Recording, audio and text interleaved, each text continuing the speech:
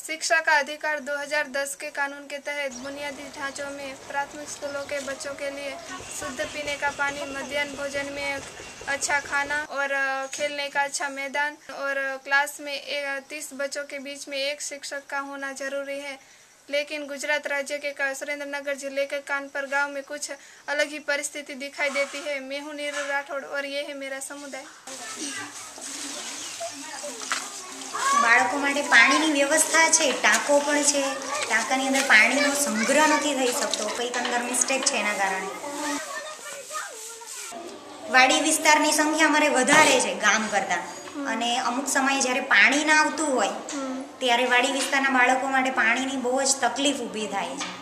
ગામના બાળકો પોતાના ઘરે જઈને પાણી પી આવે પરંતુ વાડી વિસ્તારવાળા બાળકો ક્યાં જાય? સંડાસ બાથરૂમ હોય તમારી નિશાળ તમે જાઓ છો અહીંયા? તો ક્યાં જાઓ? બે કેમ બહાર જાઓ? નિશાળમાં કેમ નથી જતા? ના પાડે. કોણ ના પાડે? બેન.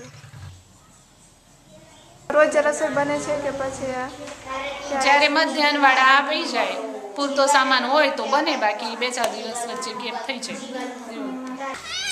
વર્ગ વધારે. અને શિક્ષકો ઓછા શિક્ષકોની ઘટ બહુ છે બધાને બે બે ધોરણ સંભાળવા થોડીક મુશ્કેલી પડે છે એક વર્ગ હોય અને બે બે ધોરણ હોય બે બધા બાળકોને સાચવવા માટે જે આપણે શિક્ષણ કાર્ય કરવું હોય છે એ જેવી રીતના કરવું હોય છે ને એવી રીતના કરી શકાતું નથી